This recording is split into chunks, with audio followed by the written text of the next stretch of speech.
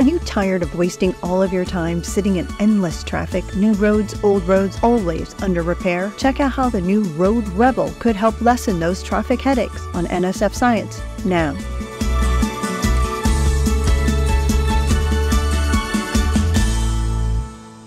Traffic. Did you know that in 2022, the average American driver spent 51 hours sitting in traffic? So many of the delays today are due to never ending road repairs. Believe it or not, the culprit is a 100 year old method of testing concrete all the technology of making the concrete, mixing the concrete, testing the concrete is developed a hundred years ago has never changed. There is a huge gap to understand the strengths of the concrete over the time. The outdated industry standard of cylinder concrete testing relies on testing large samples of concrete at a lab or on-site facility. This laboratory standard, which is labor intensive, does not account for discrepancies between lab and outdoor conditions that can lead to inaccurate estimates of the concrete strength. Due to this need for more strength, because of this uh, not very good testing method, we need to use more cement, which causes all of our mix designs to be less environmentally friendly.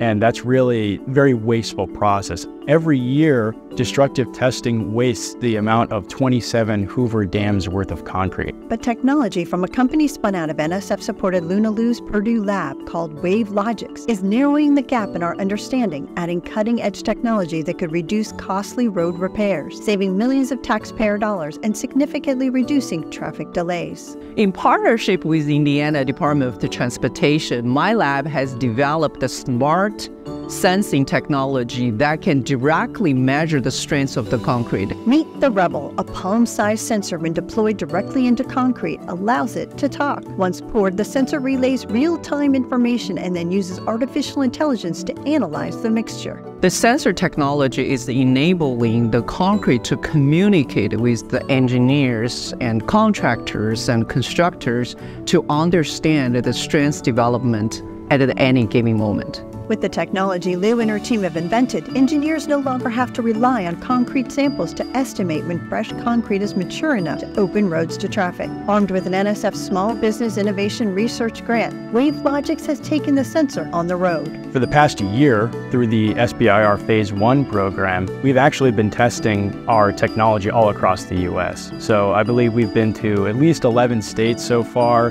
testing on various construction sites, getting a lot of data and feedback on how to make the product better. Uh, by the end of next year, we hope to have the system out all across the country. WaveLogix's Rebel technology has been selected as Time's 2023 Best Inventions and is poised to bring our roads into the 21st century, saving commuters time and taxpayers money.